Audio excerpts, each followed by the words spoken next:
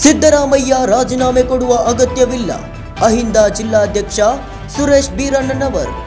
ಹೌದು, ಮುಖ್ಯಮಂತ್ರಿ ಸಿದ್ದರಾಮಯ್ಯ ರಾಜೀನಾಮೆ ನೀಡಬಾರದೆಂದು ರಾಷ್ಟ್ರೀಯ ಅಹಿಂದ ಒಕ್ಕೂಟದ ರಾಜ್ಯಾಧ್ಯಕ್ಷ ಮುತ್ತಣ್ಣ ಶಿವಳ್ಳಿಯವರ ನೇತೃತ್ವದಲ್ಲಿ ಇದೇ ದಿನಾಂಕ ಮೂರರಂದು ಹುಬ್ಬಳ್ಳಿಯ ಚೆನ್ನಮ್ಮ ವೃತ್ತದಿಂದ ಬೆಂಗಳೂರಿಗೆ ಸಂವಿಧಾನ ಪೀಠಿಗೆ ಜ್ಞಾಪಕ ಜನಜಾತ ಹೊರಡುವುದು ಈ ಕಾರ್ಯಕ್ರಮದಲ್ಲಿ ಸಾಕಷ್ಟು ಸಂಖ್ಯೆಯಲ್ಲಿ ಅಹಿಂದ ಸಂಘದ ಕಾರ್ಯಕರ್ತರು ಭಾಗವಹಿಸಬೇಕೆಂದು ರಾಷ್ಟ್ರೀಯ ಅಹಿಂದ ಒಕ್ಕೂಟದ ಗದಗ ಜಿಲ್ಲಾಧ್ಯಕ್ಷ ಸುರೇಶ್ ಬೀರಣ್ಣನವರು ಹೇಳಿದ್ದರು.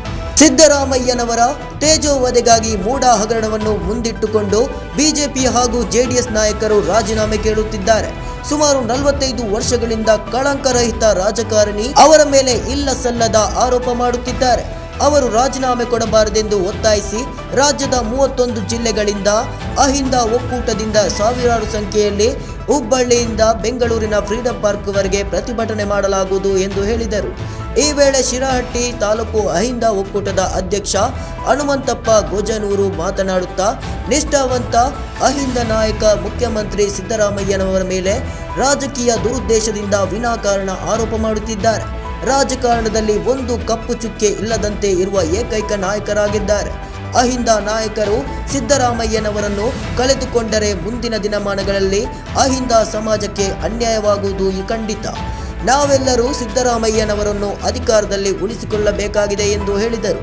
ಈ ಸಂದರ್ಭದಲ್ಲಿ ಹುಸೇನ ಸಾಬ ಮಸೂತಿ, ನೀಲಪ್ಪ ಹರಿಜನ, ಮುತ್ತುರಾಜ ಬಾವಿಮನಿ, ದೇವಪ್ಪ ಬಟ್ಟೂರ ಸಂತೋಷ ಕುರಿ ಹಾಲಪ್ಪ, ಸೊರಟೂರ ಹಾಗೂ ಅಹಿಂದ ಕಾರ್ಯಕರ್ತರು ಇದ್ದರು. Basavaraj Navalgund N K S T four news, Shirahatti. Siddaramaiah ಸಾಹೇಬರ ಒಂದು ವಿಧಿವಿಲೆಗಾಗಿ ಒಂದು ಮುಡಾ ಹಗರಣ ಅಂತ ಒಂದು ಚಿಕ್ಕ ಒಂದು ಹಗರಣವನ್ನು ದೊಡ್ಡ ಪ್ರಮಾಣದಲ್ಲಿ ಇವತ್ತು ಬಿ ಜೆ ಪಿಯವರು ಜೆ ಅವರು ಈ ಒಂದು ಹಗರಣವನ್ನು ಮುಂದಿಟ್ಟುಕೊಂಡು ಸನ್ಮಾನ್ಯ ಮುಖ್ಯಮಂತ್ರಿಗಳಿಗೆ ರಾಜೀನಾಮೆ ಕೇಳ್ತಾ ಇದ್ದಾರೆ.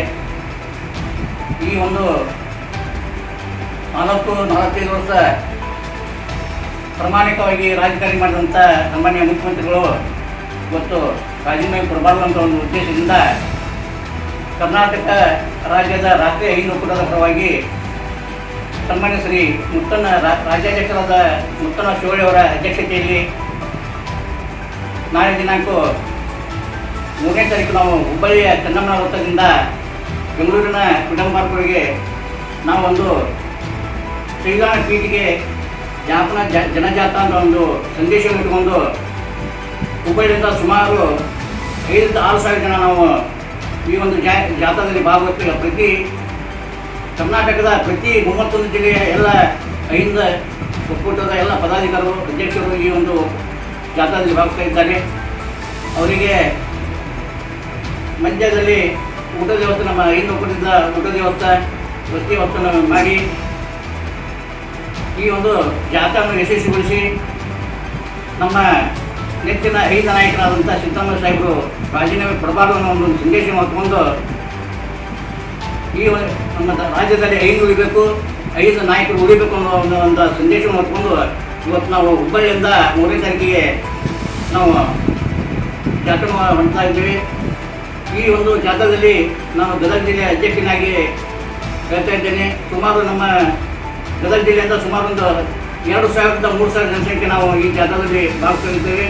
ನೇರವಾಗಿ ಇಲ್ಲಿಂದ ಬೆಂಗಳೂರಿಗೆ ಬಂದು ನಮ್ಮ ಬೆಂಗಳೂರಿಗೆ ಬಂದು ಅಲ್ಲೇ ಪರಂಪರೆಗೆ ನಿಲ್ಲಿಸುತ್ತಾ ಈ ಒಂದು ಜಾತಕ್ಕೆ ಪಕ್ಷ ಭೇದ ಬರ್ತು ಮತ್ತು ಒಂದು ಒಂದು ಇದು ಯಾವುದು ರಾಜ್ಯದಿಂದ ಐದು ಪಕ್ಷ ಈ ಒಂದು ಸಂದೇಶಕ್ಕೆ ಪಕ್ಷ, ಎಲ್ಲ ಮತ್ತು ಇವತ್ತ ಈ ಕಾಂಗ್ರೆಸ್ ಪಕ್ಷದವರು ಅಷ್ಟೇ ಅಲ್ಲ, ರಾಷ್ಟ್ರೀಯ ಹಿಂದೂ ಕೂಟದ ಅಷ್ಟೇ ಅಲ್ಲ, ಬೇರೆ ವಿರೋಧ ಪಕ್ಷದ ಸಹಿತ ಈ ಒಂದು ಜಾತ್ಯಕ್ಕೆ ಗಮನ ಕೊಡ್ತಾ ಕೊಟ್ಟಿದ್ದಾರೆ.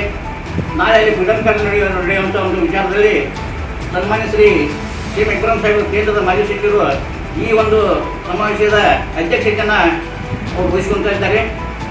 ಆದ್ದರಿಂದ ಈ ಒಂದು ಸಂದೇಶವನ್ನು ತಾವು ಎಲ್ಲ ಮಾಧ್ಯಮಕ್ಕೆ ಮುಟ್ಟಿಸ್ತಾರೆ ಅಹಿಂದ ಸಂಘಟನೆ ಸೈವಾನ ಪೀಠಿಗೆ ಜ್ಞಾಪನ ಜನಜಾತ ಐತಿಹಾಸಿಕ ಯಾತ್ರೆ. ಎರಡು ಸಾವಿರದ ಇಪ್ಪತ್ತ್ಮೂರು ಇಪ್ಪತ್ನಾಲ್ಕು.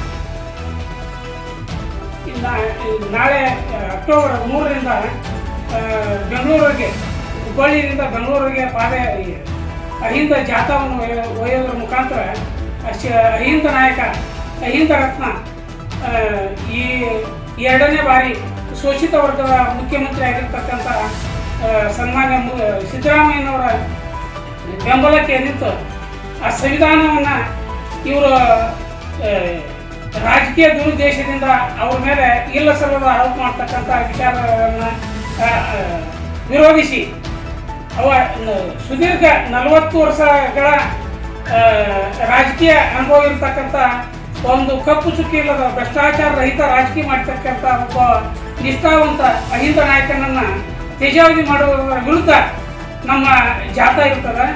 ಆ ಜಾಥಾವನ್ನು ನಾಳೆ ಮೂ, ಗುರುವಾರ ದಿವಸ ಮೂರನೇ ತಾರೀಕು ಎಲ್ಲಿಂದ ಅಂದರೆ ಗ್ಲಾಸ್ ಹೌಸ್ನಿಂದ ಹುಬ್ಬಳ್ಳಿ ಗ್ಲಾಸ್ ಹೌಸ್ನಿಂದ ಚಿತ್ರದುರ್ಗ ಮಾರ್ಗ ವಸ್ತಿಯವರು ಎರಡನೇ ದಿನ, ನಾಲ್ಕನೇ ತಾರೀಕು ಬೆಂಗಳೂರಿಗೆ ಹೋಗಿ ಅದನ್ನ ಕಾರ್ಯಕ್ರಮವನ್ನು ಎಲ್ಲೇ ಫ್ರೀಡಮ್ ಪಾರ್ಕ್ನಲ್ಲಿ ಒಂದು ಸಮಾವೇಶ ಮಾಡಿ ಬೆಂಗಳೂರಿನ ಇದರಿಂದ ಎಲ್ಲಿಯವರಿಗೆ ಅಂದರೆ ವಿಧಾನಸೌಧವರೆಗೆ ಹೋಗಿ ನಮ್ಮ ಜಾಥಾ ಮುಗಿದಿದ್ವಿ. ಅದರ ಉದ್ದೇಶ ಏನಂದರೆ, ಈಗ ದುರುದ್ದೇಶದಿಂದ ಮಾಡ್ತಕ್ಕಂಥ ಇವರೆಲ್ಲರೂ ಯಾರು ಜೆ ಡಿ ಎಸ್ ಅಥವಾ ಬಿ ಜೆ ಪಿ, ಷಡ್ಯಂತ್ರ ಮಾಡ್ತಕ್ಕಂಥವ್ರ ವಿರುದ್ಧ ನಮ್ಮ ಹೋರಾಟ. ಸಂವಿಧಾನ ನಾವು ಯಾವ ಕಾರಣಕ್ಕೂ ಕೋರ್ಟಿಂದ ನಾವು ವಿರೋಧ ಮಾಡಿಸ್ತಾ ಇಲ್ಲ. ಇವ್ರು ಮಾಡ್ತಕ್ಕಂಥ ರಾಜಕೀಯ ದುರುದ್ದೇಶ ಏನೈತಲ್ಲ, ಅದನ್ನ ವಿರೋಧ ಮಾಡ್ತೀವಿ. ಅದೇ ಬಿಜೆಪಿ ನಾಯಕ ಒಬ್ಬ ಪ್ರತಾಪ್ ಸಿಂಹ ಅಂತ ಹೇಳ್ತಾರೆ, ಎಂಬತ್ಮೂರರಿಂದ ನಿಷ್ಕಳಂಕ ರಾಜಕಾರಣಿ ಇದ್ದಂತವ, ರೊಕ್ಕ ರೊಕ್ಕ ಮಾಡ್ಬೇಕನ್ನಂತಾಗ, ಆಸ್ತಿ ಮಾಡ್ಬೇಕನ್ನಂತ ವಿಚಾರದಾಗಿ ಇದ್ದಿದ್ನಂದ್ರೆ, ಎಂದೋ ಸಾವಿರಾರು ಕೋಟಿ ಒಡೆ ಹಾಕೋದಿತ್ತು ಅಂತ ದುರುದ್ದೇಶ ಇಲ್ಲ ಅಂತಕ್ಕಂಥ ಮಾತನ್ನ ಸ್ವತಃ ಅವರೇ ಹೇಳ್ತಾರೆ, ಪ್ರತಾಪ್ ಸಿಂಹನಂತವ್ರು. ಯತ್ನಾಳ್ ಅವರು ಹೇಳ್ತಾರೆ ಅದ ಬಿಜೆಪಿ ಅವರ ಏನ್ ಹೇಳ್ತಾರ? ಸಾವಿರ ಕೋಟಿ ಸಾವಿರ ಕೋಟಿ ರೊಕ್ಕ ಮಾಡಿಕೊಂಡು ಅವ್ರನ್ನ ತೇಜಾವಧಿ ಮಾಡಿ, ನಿಷ್ಕಳಂಕ ವ್ಯಕ್ತಿಯನ್ನ ತೇಜಾವಧಿ ಮಾಡಿ ಈ ವಾಮ ಮಾರ್ಗದಿಂದ ಅಧಿಕಾರ ಅಧಿಕಾರವನ್ನು ಕಸ್ಕೊಳ್ಳುವಂಥ ವ್ಯವಸ್ಥೆ ಆಗ್ಬೇಕಾಗೈತೆ ಅಂತ ಇವರು ದುರುದ್ದೇಶದಿಂದ ಇದು ಎಂದಿಗೆ ಆಗುದಿಲ್ಲ ಅಂತಕ್ಕಂಥ ಮಾತು ಸ್ವತಃ ಬಿಜೆಪಿ ನಾಯಕರು ಹೇಳ್ತಾರೆ. ಅದನ್ನ ಅರ್ಥ ಮಾಡ್ಕೋಬೇಕಾಗಿದೆ ನಾವು. ಇವು ನಾವು ಅಹಿಂದ ವರ್ಗದವರು. ಅಲ್ಪಸಂಖ್ಯಾತ, ಹಿಂದುಳಿದ ವರ್ಗ, ದಲಿತ, ಎಲ್ಲ ಜಾತಿ ಜನಾಂಗದವ್ರು ನಾವು ಅರ್ಥ ಮಾಡ್ಕೋಬೇಕಾಗ್ಯದ. ಇಂಥ ಒಬ್ಬ ನಾಯಕನ ನಾವು ಕಳ್ಕೊಂಡ್ರೆ ಮುಂದಿನ ದಿನಮಾನದೊಳಗೆ ಮುಂದಿನ ದಿನಮಾನದೊಳಗೆ ನಾವು ರಾಜಕೀಯವಾಗಿರಲಿ, ಸಾಮಾಜಿಕವಾಗಿರಲಿ, ಎಲ್ಲ ಶೈಕ್ಷಣಿಕವಾಗಿರಲಿ, ಎಲ್ಲ ದುರಂತವನ್ನು ಅನುಭವಿಸುವಂಥ ಕಾಲ ಮುಂದೆ ದೂರಿಲ್ಲ ಇರ್ತಕ್ಕಂಥ ಮಾತನ್ನು ನಾನು ಸ್ಪಷ್ಟವಾಗಿ ಹೇಳ್ತಾ ಇದ್ದೀನಿ. ಈ ಮಾತು ಯಾಕೆ ಹೇಳ್ತೀವಿ ಅಂತ ಅಂತಂದ್ರೆ ನೋಡ್ರಿ ಅಯ್ಯ ಹಿಂದ ದೇವರಾಜ ಅರಸಂತ ನಿಷ್ಠಾವಂತ ರಾಜಕಾರಣಿಗಳು ಬಿಟ್ಟಿಲ್ಲ ಇವರು. ಹನ್ನೆರಡು ಹನ್ನೆರಡನೇ ಶತಮಾನದಾಗ ಸರ್ವ ಸರ್ವರು ಸಮಬಾಳು, ಸಮಪಾಲು ಇರ್ತಕ್ಕಂಥ ಸಮನ್ವಯ ಸಾರಿದಂಥ ಬಸವಣ್ಣವ್ರನ್ನ ಬಿಟ್ಟಿಲ್ಲ. ಹಂಗೆ ಅದೇ ರೀತಿಯಾಗಿ ನಮ್ಮ ಅಹಿಂದ ನಾಯಕನ ಮುಗಿಸುವಂಥ ವ್ಯವಸ್ಥೆ ನಡೆಯಕತ್ತದ ಅದ್ರ ವಿರುದ್ಧ ನಮ್ಮ ಹೋರಾಟ. ಅದು ಯಾವುದೇ ಕಾರಣಕ್ಕೂ ನಾವು ಏನು ಹೇಳ್ತೇವೆ ಅಂದ್ರೆ ಯಾವುದೇ ಕಾರಣಕ್ಕೂ ಇದನ್ನ ನಾವು ದುರುದ್ದೇಶದಿಂದ ಅವ್ರು ಏನು ವಿಚಾರ ಮಾಡಕತ್ತಾರ ಅವ್ರ ವಿರುದ್ಧ ನಮ್ಮ ಹೋರಾಟ ಇರ್ತ ಅಹಿಂದ ಬೆಂಬಲಕ್ಕೆ ನಾವು ಎಲ್ಲರೂ ಇರಬೇಕಾಗ್ಯದ ಇನ್ನೊಂದು ಮಾತು ಏನು ಹೇಳ್ತೇನೆ ಇಡೀ ನಮ್ಮ ತಾಲೂಕಿನ ಸರ್ವ ಜನಾಂಗದ ಶಾಂತಿಯ ತೋಟ ಆದಂಥ ಇದು ಹಿಂದೂ ಮುಸ್ಲಿಂ ಬಾಯಕಿಯರ ನಾಡಾಗಿರ್ತಕ್ಕಂಥ ಶಿರಟ್ಟಿಲಿಂದ ಒಂದು ಸಂದೇಶ ಪಡ್ಲಿಕ್ಕೆ ಏನು ಇಷ್ಟಪಡ್ತೀವಿ ಅಂದ್ರೆ ನಾವೆಲ್ಲ ಹಿಂದೂ ವರ್ಗ ಅಲ್ಪಸಂಖ್ಯಾತರು, ದಲಿತರು, ಕೂಲಿ ಕಾರ್ಮಿಕರು, ಬಡವರ್ಗದವರು ಎಲ್ಲರೂ ರೈತರು ಎಲ್ಲರೂ ಒಂದು ವಿಚಾರ ಮಾಡಬೇಕಾಗ್ಯದ ಏನ ಮಾಡ್ಬೇಕಾಗ್ಯದ ಅಂದ್ರೆ ನಾವು ಈ- ಮುಖಾಂತರ ಅವ್ರಿಗೆ ಕರೆ ಕರೆ ಕೊಡ್ಲಿಕ್ಕೆ ಏನು ಇಷ್ಟಪಡ್ತೀನಿ ಅಂದ್ರೆ ನಾನು. ಈಗ ಎಲ್ಲರೂ ನಾವು ಬೆಂಬಲ ಕೊಟ್ಟು ನಮ್ಮ ಅಹಿಂದರ ರತ್ನವನ್ನು ಉಳಿಸ್ಕೊಂಡು ಮುಂದಿನ ದಿನಮಾನಗಳಲ್ಲಿ ಒಳ್ಳೇದಾಗ್ತಂತ ಕೆಲಸ ಮಾಡೋ ವ್ಯಕ್ತಿ ಇನ್ನ ಹುಟ್ಟುವುದಿಲ್ಲ.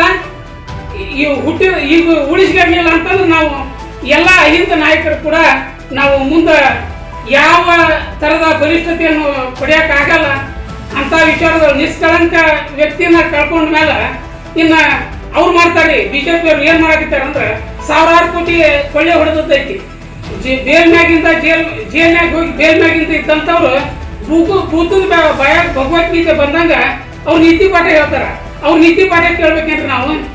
ಅದನ್ನ ಅರ್ಥ ಮಾಡ್ಕೋಬೇಕಾಗದ ಈ ಈ ಒಂದು ಸಂದೇಶ ನಾಳೆ ಮೂರನೇ ತಾರೀಕಿನಿಂದ ಜಾತಾ ಹೋಗ್ತೈತಲ್ಲ ಆ ಜಾಥಾಕ್ಕೆ ಇಡೀ ತಾಲೂಕಿನ ಜನರು ಅಹಿಂದ ವರ್ಗದ ನಾಯಕರು ಎಲ್ಲರೂ ಒಗ್ಗೂಡಿ ನಾವು ಅವ್ರಿಗೆ ಬೆಂಬಲ ಕೊಟ್ಟು